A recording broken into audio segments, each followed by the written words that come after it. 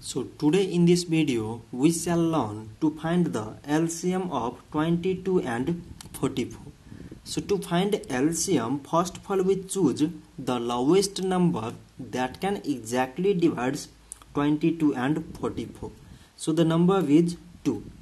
So 2 times 11 mean 22 and 2 times 22 mean 44.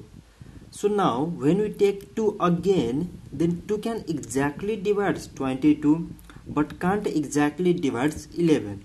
So we choose the number greater than 2 that can exactly divide 11 and 22. So the number is 11. So 11 times 1 mean 11 and 11 times 2 mean it is 22. So at last we have 1 and 2 which are not exactly divisible by the same number.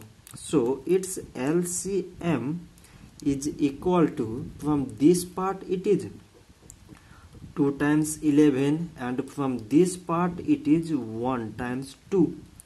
So 2 times 11 mean 22 times 1 22 times 2 mean it is 44. So 44 is the LCM of 22 and 44. So this much for today and thanks for watching.